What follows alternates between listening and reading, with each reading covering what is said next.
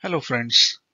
So today we will talk about alias, uh, which is um, an important topic for support guys, especially to perform certain actions um, just by executing the created or the existing aliases uh, for certain uh, repetitive tasks or operations for which um, uh, they don't need to or they don't have to think about the logic syntax uh, on how to um, per, I mean how to put that particular commands in the sequences to perform certain operations.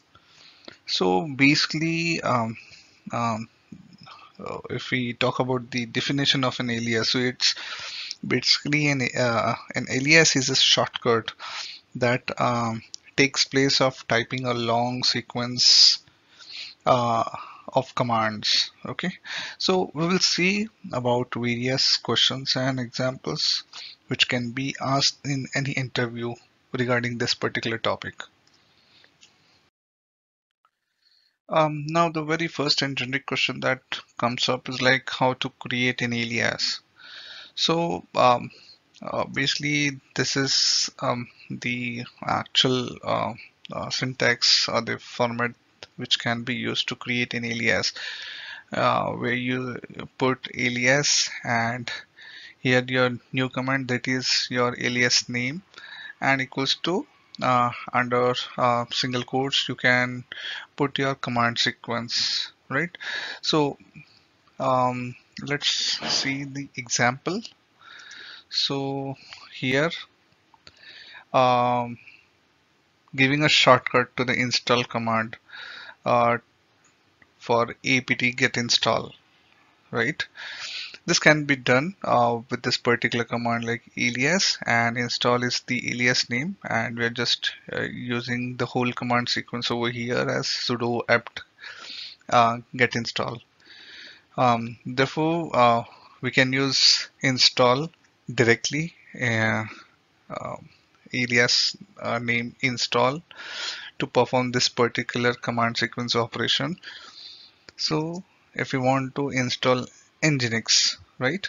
So you can just use install and Nginx. That's right. So you don't have to think about the whole sequence. So that is how an alias is useful to any any sort of uh, operations, right? Now, um, how to make a permanent alias? So whatever we have seen before, the alias command is temporary, right? So aliasing exists until we close the current terminal only. So it's um, available for the temporary purpose. But to keep these shortcut uh, shortcuts uh, commands permanent, so uh, we can use this particular command so that what it, it will do it will add this uh, particular alias statement to bash rc file right? So commands in this bash rc file are always uh, this bash rc file are always executed when a new shell process is spawned. So here uh, you can see that echo um, uh, uh, this is the alias command creation and which is now redirected to a bash rc file right? So whenever a new sh shell uh, process is spawned so uh, you don't have to actually create an alias again. So this is kind of permanent alias on your system then. Now how to remove an alias? So uh, there are two uh, methods that you can use. Either you can use the manual process of removing that particular entry um, uh, from bash rc file. So you can go to this bash rc file and just remove that particular alias entry. Or you can uh, use unalias command. So how you can use it? Um, you can use it unalias and this the, and then the alias name. So if we see that previously we created install alias. So if we want to just remove that alias so we can just use it as unalias and install right? Or if you want to um, uh, remove all the aliases from the system so you can use unalias hyphen a. So it will remove all the aliases from the system um, now here we have an example question is like uh, a scenario question is uh, like create an alias rm uh, which will delete the original file and keep a copy in backup directory. So basically rm is the command to remove any file from the system, any file or directory. But here uh, we need to have an uh, alias rm which will delete the original file and keep a copy in backup directory. So for the whole system, whenever you use rm, it will going it is supposed to be uh, it is supposed to delete the files from the system but it should create a backup as well in the backup directory so this is how you can um, uh, create that alias alias rm uh, and then under single quotes cp and this is for the arguments. And this is your destination and rm uh, this the uh, dollar at the rate are your arguments.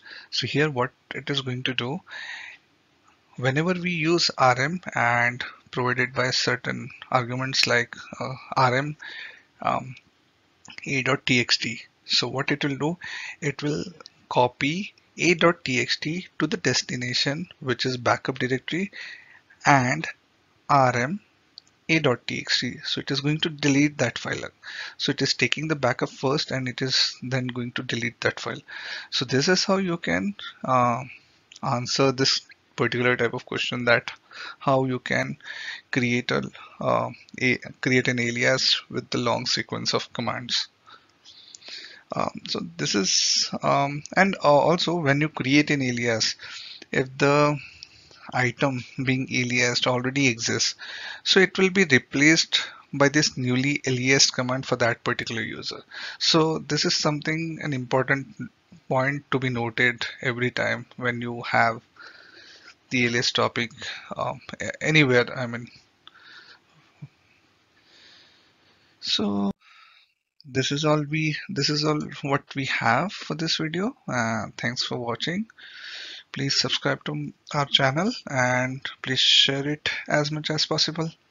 Thank you so much. Bye bye